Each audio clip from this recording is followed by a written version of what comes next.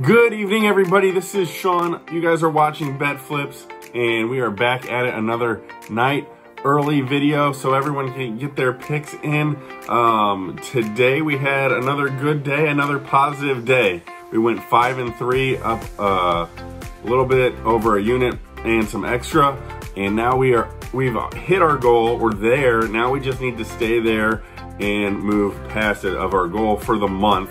11 units. We're at 11.55 units for the month of April. Absolutely amazing. It's not even April 15th yet. It's the 13th and we're doing picks out for the 14th and we've already hit our goal. So we are sitting pretty uh, for the month.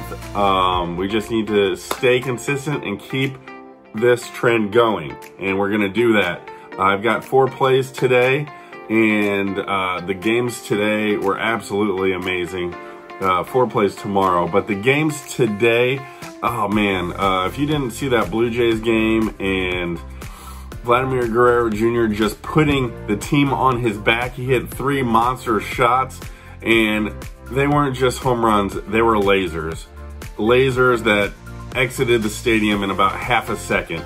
They were insane. He was wearing the home run jacket all night long.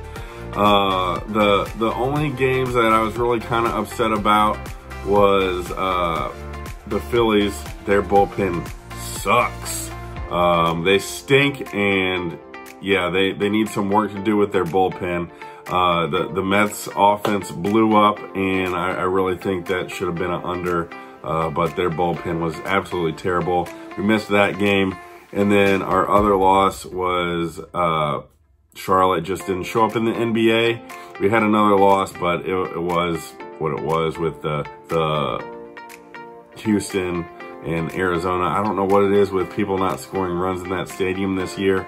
It's just been slow to get that offense going with Arizona being a not so great offense. And I don't know what's going on there, but uh, all the I think Arizona home games have only been over once or twice this whole season so far, so that's an abnormality. But we ended up five and three, great day, lots of winning. Uh, the Brewers almost gave it away, and uh, I've got Corbin Burnes on my fantasy team, so uh, he did not get the win even though he deserved it. He pitched amazing. Clayton Kershaw, if you guys didn't see that game, oh my gosh. He had a no-hitter through seven and then got pulled by that crazy manager that's a yes man of the front office in LA. Uh, got pulled. Um, I know they're playing to win the World Series as he quoted before the season started. But as a baseball fan and a Clayton Kershaw fan, I feel like we were robbed of that opportunity. He only had 80 pitches through seven innings and gets pulled. But the Dodgers still won. Uh, we had a great day and uh, we're going to move forward. We've got four plays today, three in the MLB and one NHL play, and it's going to be my homer day. Um, it just happened this way. Uh, St. Louis Cardinals are underdogs against Milwaukee. We're going to take them on the money line at plus 132. Waino is on the mound.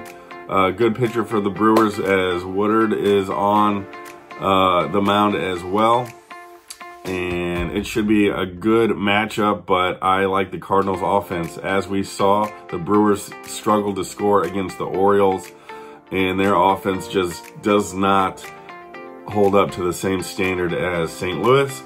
And then we're going to move uh, over to the American League East, and we're going to continue to ride Toronto.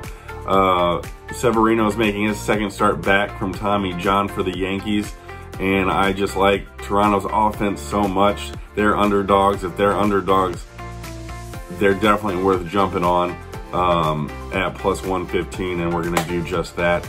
Then we're going to take a total. We're going to take over seven and a half runs in the Atlanta San Diego matchup. We've got Musgrove, we've got uh, Morton on the mound, two great pitchers, but these two teams both have pretty stellar offenses, and I think someone's going to break through.